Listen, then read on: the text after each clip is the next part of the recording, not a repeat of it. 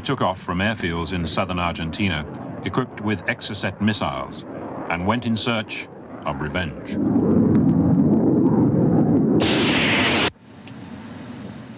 HMS Sheffield was on the lookout for enemy aircraft well forward of the main British fleet. Blind, AWOL, one probable target, 01010. Go back, direct the radar. The sea was very calm, we were looking out to sea, and I thought that it looked like a torpedo was on its way because the, the sea was shimmering and shaking, if you like. Um, so I, I said I thought there was a torpedo. The pilot also had trained his glasses around to the same spot, and he said, no, it's an Exocet.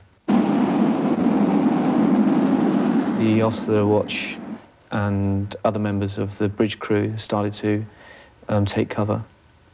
But I remember myself and the second officer of the watch becoming transfixed to the, the missile on its way in, which really does amaze me now when I come to think of it. But we watched it almost to the point of impact when we quickly huddled together and dropped to the floor.